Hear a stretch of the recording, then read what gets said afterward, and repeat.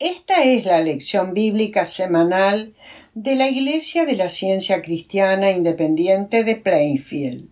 Esta lección es para su estudio durante la semana que finaliza el día domingo 6 de diciembre de 2020. Tema Dios, causa y creador únicos. Texto de oro Proverbios. Todas las cosas ha hecho Jehová por sí mismo. Lectura alternada Isaías. Yo soy Jehová, y ninguno más hay. No hay Dios fuera de mí. Yo te ceñiré, aunque tú no me conociste. Yo, Jehová, y ninguno más que yo. Rociad, cielos de arriba, y las nubes destilen la justicia. Ábrase la tierra y produzcanse la salvación y la justicia. Háganse brotar juntamente. Yo, Jehová, lo he creado. Ay del que pleitea con su hacedor, el tiesto con los tiestos de la tierra. Dirá el barro al que lo labra, ¿qué haces? ¿O tu obra no tiene manos? Ay del que dice al Padre, ¿por qué engendraste? Y a la mujer, ¿por qué diste a luz? Así dice Jehová, el Santo de Israel y su formador.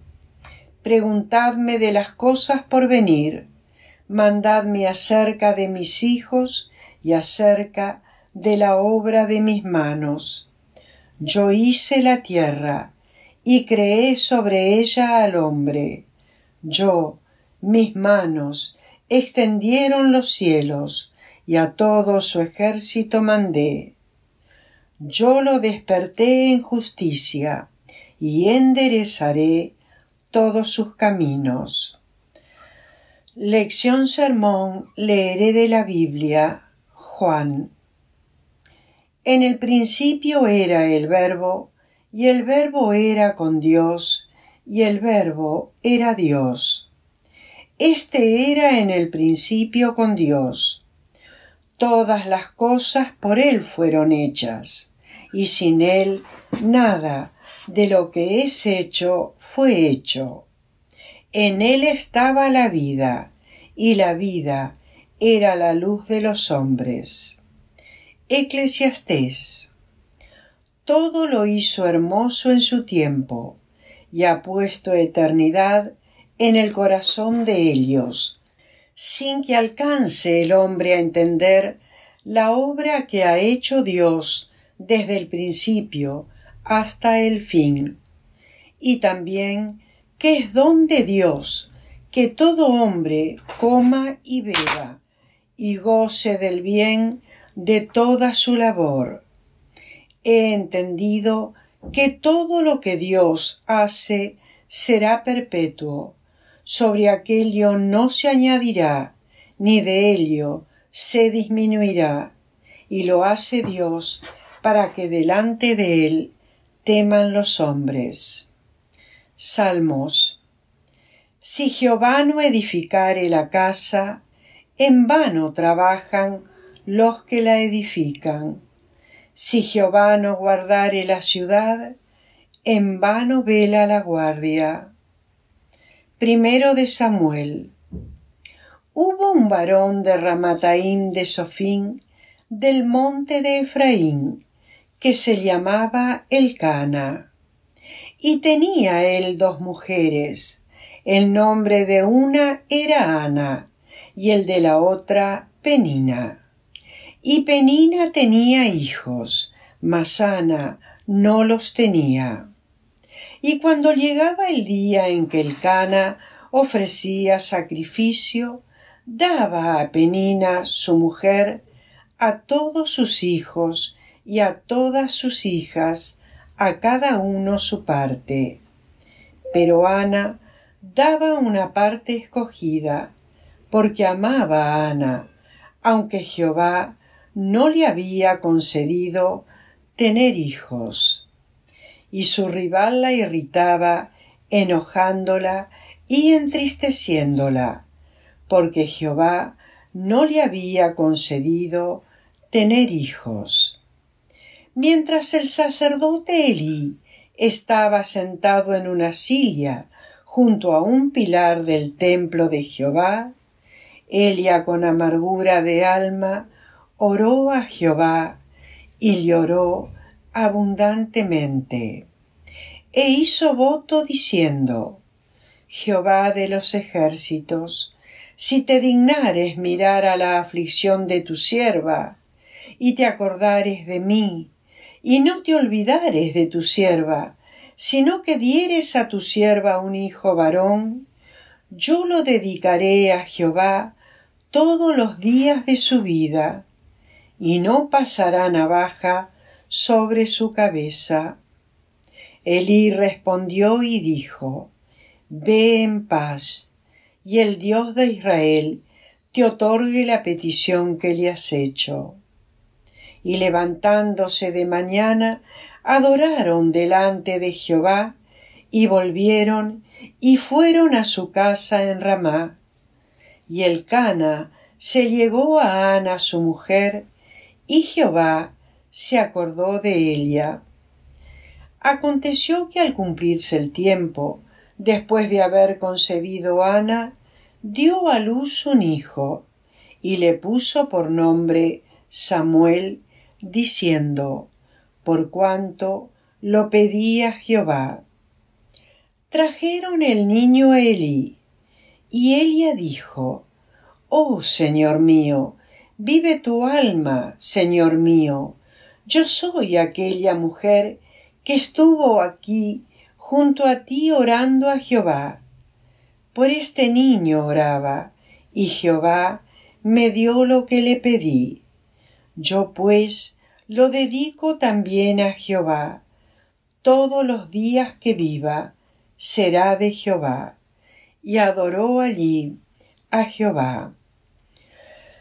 Y el niño ministraba a Jehová delante del sacerdote Elí. Y Elí bendijo a Elcana y a su mujer. Y visitó Jehová a Ana, y ella concibió, y dio a luz tres hijos y dos hijas. Y el joven Samuel crecía delante de Jehová. Éxodo yo te he puesto para mostrar en ti mi poder y para que mi nombre sea anunciado en toda la tierra. Isaías Jehová de los ejércitos juró diciendo Ciertamente se hará de la manera que lo he pensado, y será confirmado como lo he determinado.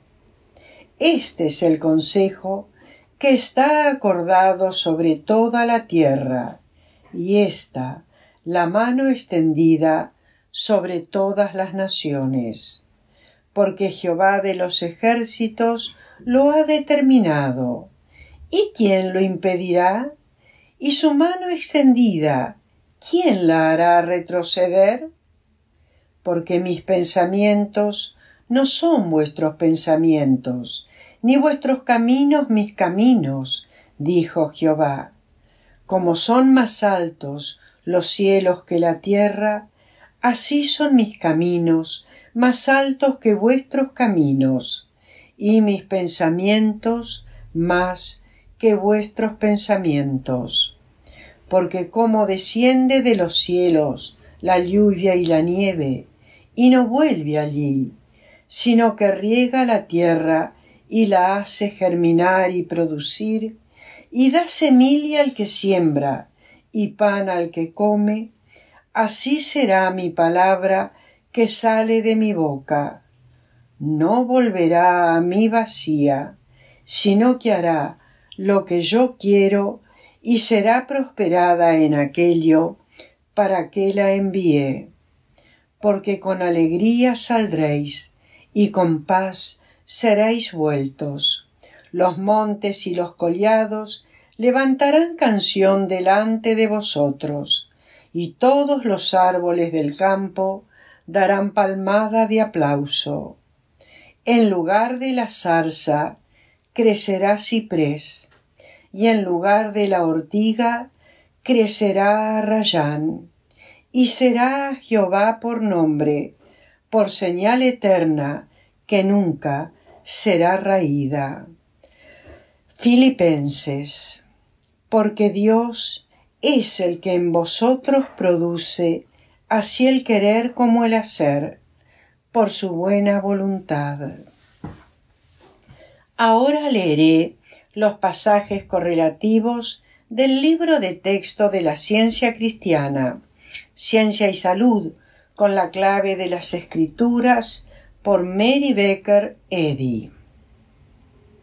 El Espíritu Dios lo ha creado todo en sí mismo y de sí mismo, como la Biblia declara, sin el Logos, el león o el Verbo de Dios, nada de lo que ha sido hecho fue hecho.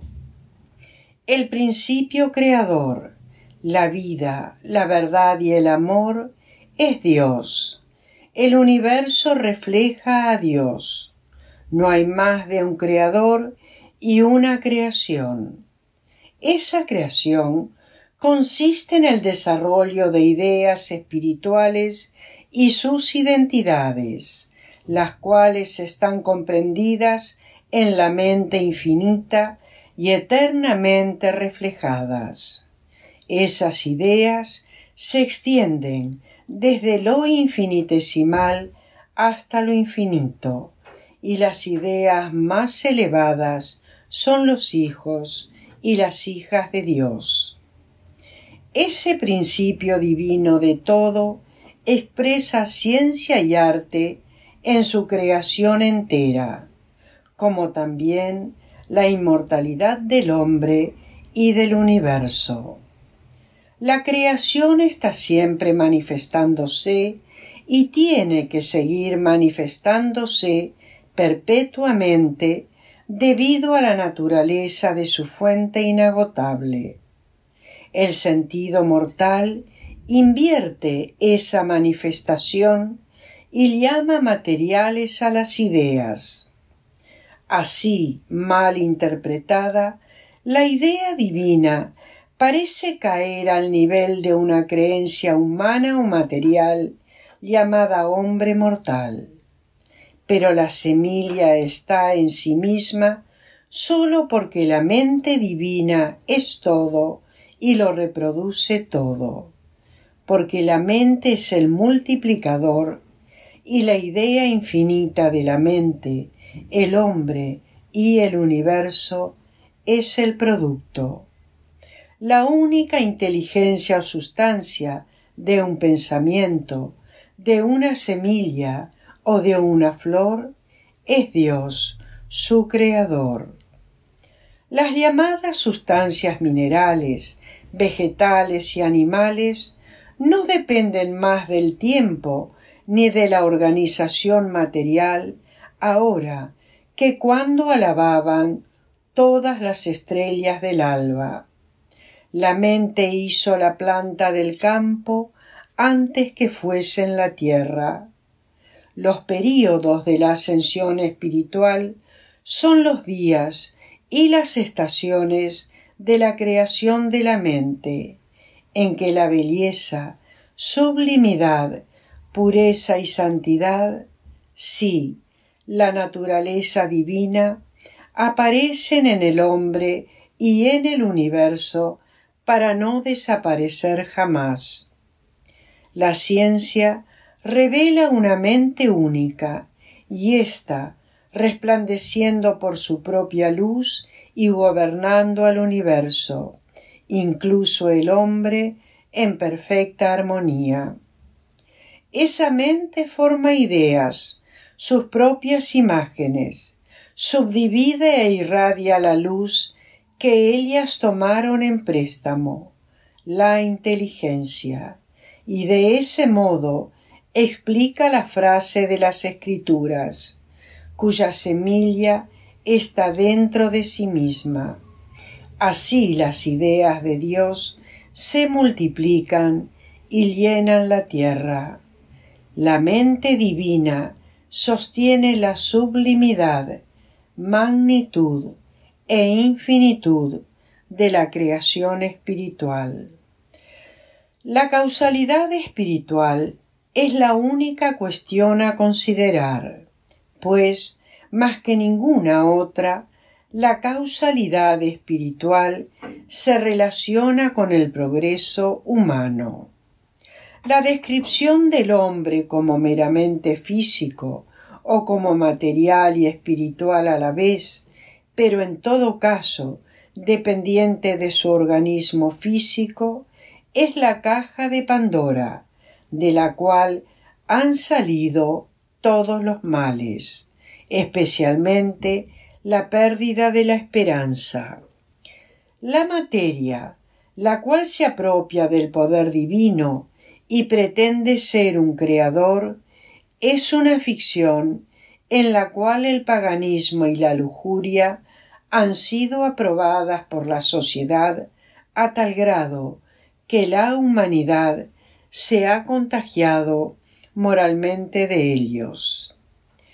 Dios modela todas las cosas conforme a su semejanza.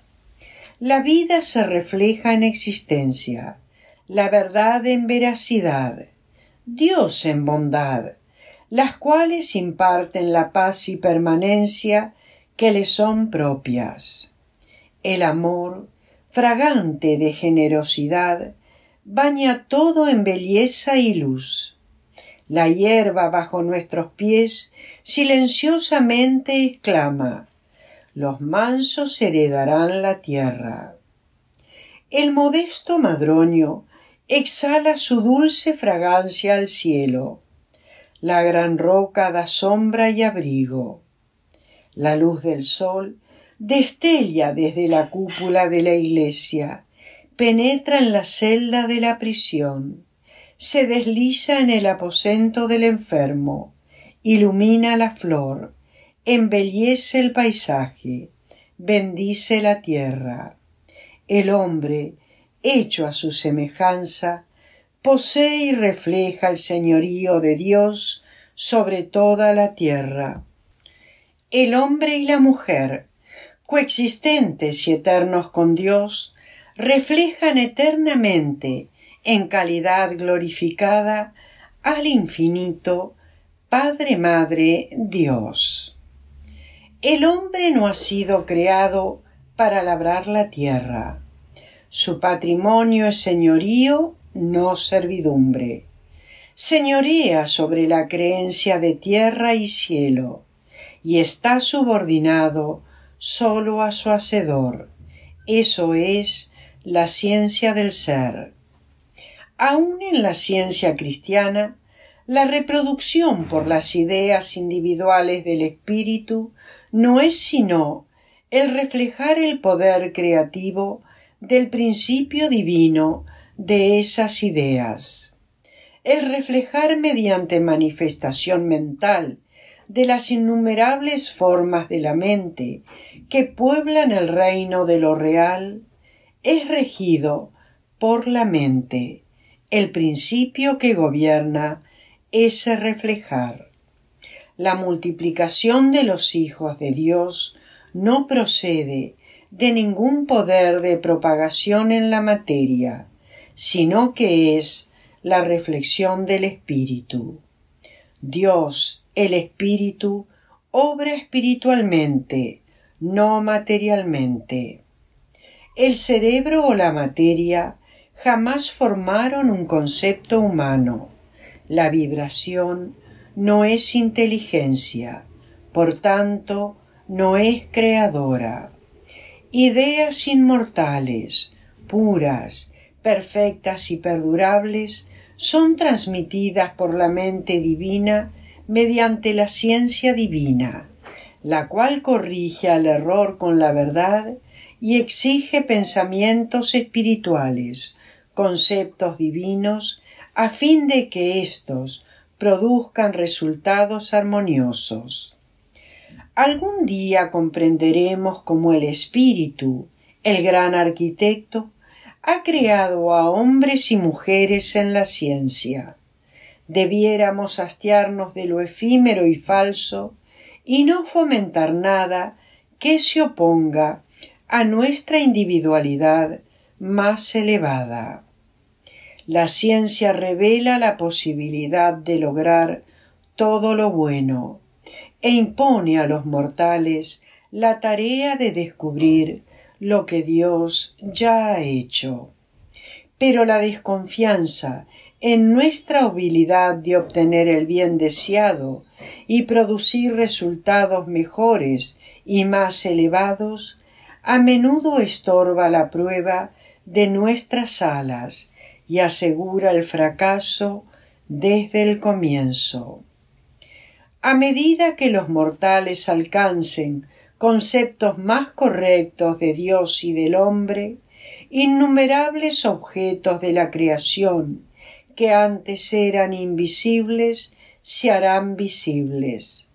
Cuando comprendamos que la vida es espíritu, nunca en la materia, ni de la materia, esa comprensión se desarrollará en autocompleción encontrándolo todo en Dios, el bien, sin necesitar ninguna otra conciencia.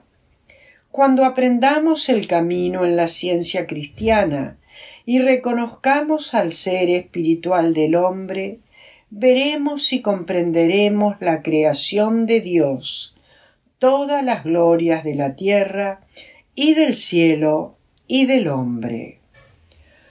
Los tres deberes diarios por Mary Becker Eddy. Oración diaria.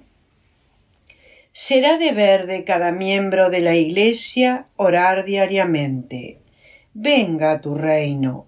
Haz que el reino de la verdad, la vida y el amor divinos se establezcan en mí, y quita de mí todo pecado, y que tu palabra fecunde los afectos de toda la humanidad y la gobierne. Una regla para móviles y actos.